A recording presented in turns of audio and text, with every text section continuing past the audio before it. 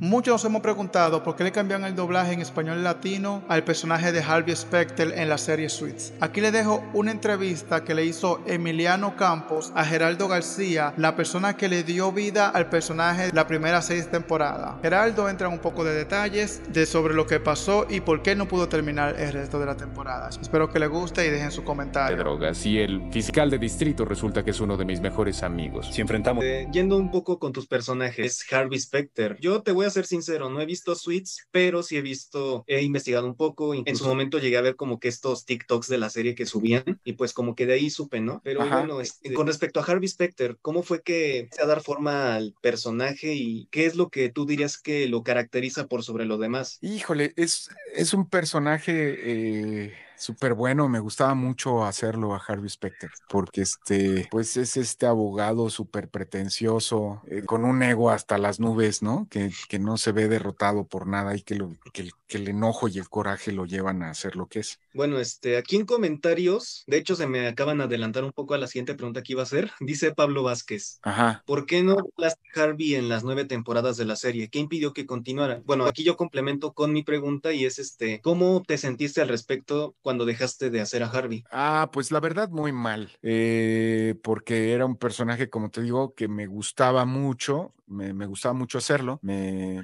me llenaba y, me divertía también mucho, ¿no? Este, el tema era que eh, yo andaba haciendo otro proyecto eh, fuera de México en uh -huh. ese entonces y este, ¿y qué pasó?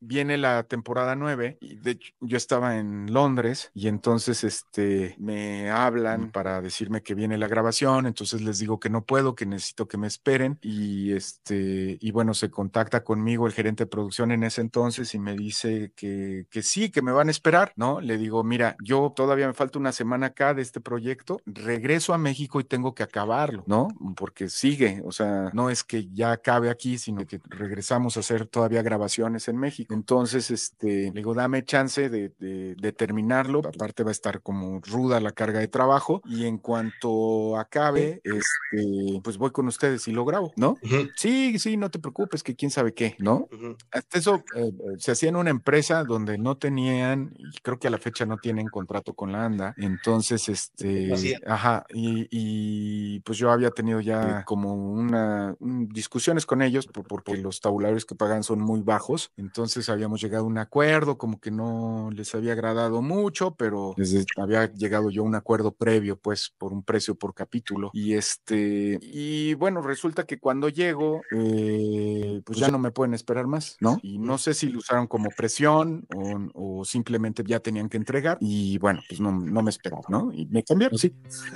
Bueno, como ya vieron, la razón por la cual Geraldo García no siguió siendo el personaje de Harvey. Ya ahí lo corté porque la entrevista dura más o menos dos horas y ahí entran entre otros eh, doblajes que Geraldo ha hecho. Pero la parte que quería mostrarle a ustedes era el por qué una de la historia, quién hizo el personaje, qué él pensaba del personaje y lo más importante, lo que todos queríamos saber, por qué él dejó de ser el personaje de Harvey Specter ya que tanto nos fascinaba como él hacía su doblaje. Muchas gracias por todo, recuérdense de suscribirse, comentar lo que piensan y hasta la próxima.